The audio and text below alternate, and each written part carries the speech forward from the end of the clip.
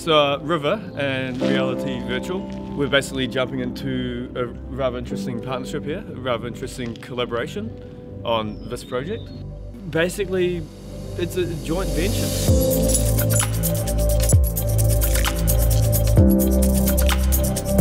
We'll provide the tools and the deep learning to help assist in the enhancing the photogrammetry to the gold standard and to the next level.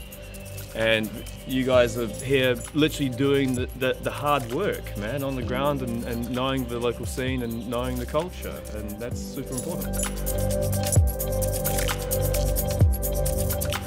With this monument behind, we're scanning it and testing the new rig, but in a minute we're going to go over to Kenilworth Castle and Warwick Castle. We want to have a complete digital twin of those environments that looks identical to the real world. So, um, as mentioned, we, we, we, want to recreate it as if it was, but as if, as if it would be now in present time.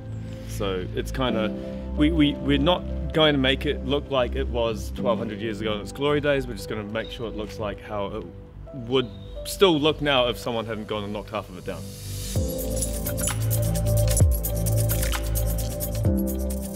Coming to this part of the world just makes perfect sense from the cultural preservation point of view.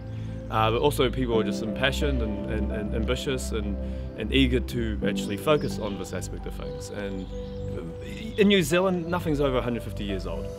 you know?